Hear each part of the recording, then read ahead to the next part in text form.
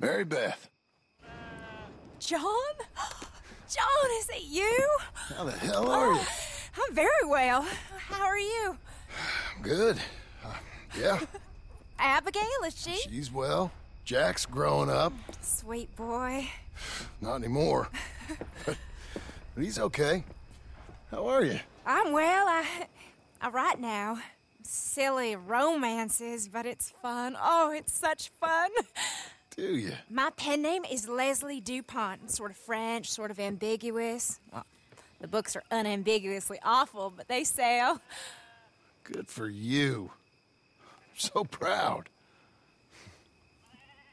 I still think about you all. That was. That was quite a time. Yeah. Arthur.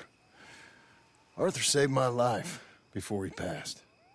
I don't talk about him much, but I think about him. Me too. And Dutch? Ran off someplace. All aboard! Such a shame.